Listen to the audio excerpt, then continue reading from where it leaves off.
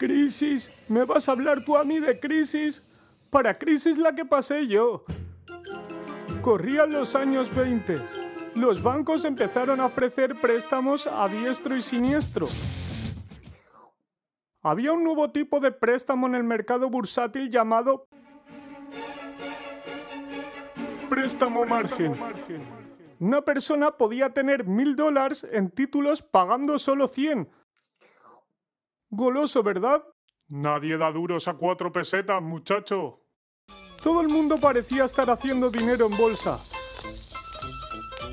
Sin embargo, este préstamo tenía una trampa.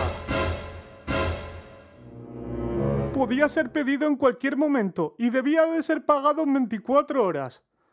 Por aquel entonces también había mucho pájaro suelto.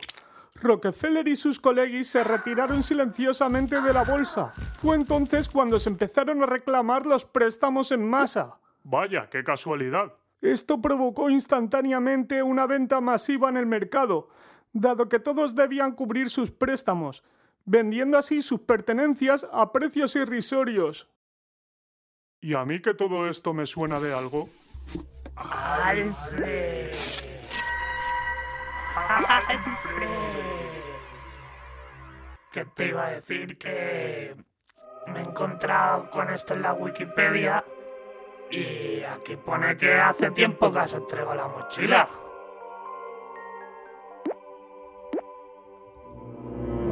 Menudo giro que han dado los acontecimientos.